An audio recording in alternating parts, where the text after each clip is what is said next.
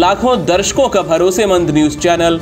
R nine Bharat Markacho थाना क्षेत्र के मुर्कमनाई पंचायत ग्राम बरियाडी में वृंदावन मोबाइल टेलीकॉम दुकान से अज्ञात चोरों के द्वारा लगभग छह लाख की मोबाइल व पर्स चोरी कर ली गई। कुंदन कुमार सिंह ने थाने में आवेदन देकर कहा कि दीपावली पूजा के अवसर पर पूजा पाठ करके आठ बजकर तीस मिनट पर ताला लॉक करके घर चला गया सुबह जानकारी मिली कि मेरी दुकान का ताला तोड़कर सामान चोरी कर ली गई। खबर सुनते ही दुकान पहुँच कर देखा तो लगभग छह लाख का सामान अज्ञात चोरों द्वारा चोरी कर लिया गया थाना प्रभारी मरकचो सुमित कुमार शाह को सूचना मिलते ही दल बल के साथ घटना स्थल पहुंचकर जानकारी ली एवं धरपकड़ के लिए छापेमारी अभियान शुरू कर दिया। पुलिस के द्वारा तीन लोगों को पूछताछ के लिए थाना लाया गया है। पहले ही आपको बता चुके हैं कि इस बरियाडी चौक पर चोरी हो चुका है। आइए हम ग्रामीण से जानना चाहते हैं कि इन पर क्या प्रतिक्रिया देते हैं। ये जो चोरी हुआ है इस पर क्या आपका प्रतिक्रिया है?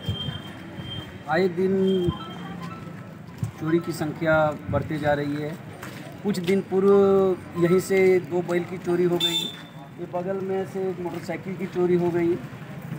तो आप जान सकते हैं कि किसकी लापरवाही है और आए दिन रोड में सिर्फ़ वसूली होता है।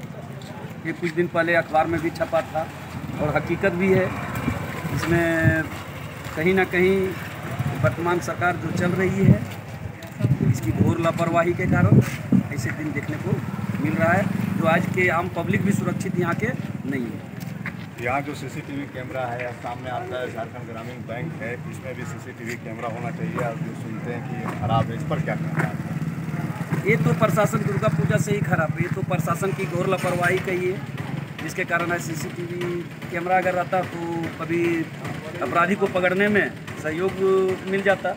मगर ये नहीं रहने के कारण और प्रशासन की लापरवाही के कारण सीसीटीवी कैमरा बंद होने के कारण आज आए दिन हमारे दुकान जो है हमारा भाई का दुकान था जो लगभग आठ से दस लाख रुपया का नुकसान हुआ है।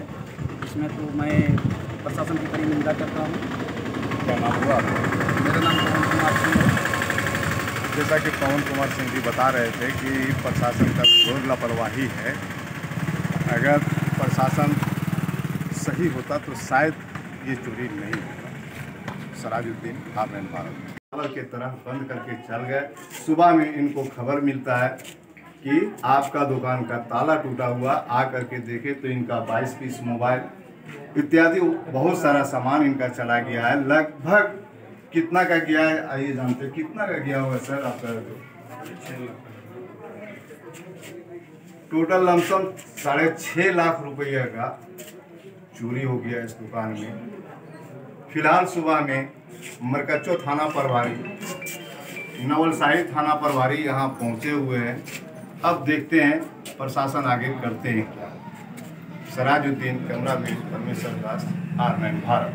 R nine Bharat से सराजुद्दीन मरकचो की रिपोर्ट।